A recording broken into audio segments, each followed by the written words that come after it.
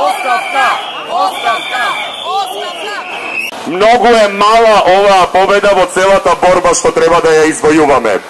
Туку што е објавено на Канал 5 дека Маја Парнарджиева Змејкова си поднела оставка.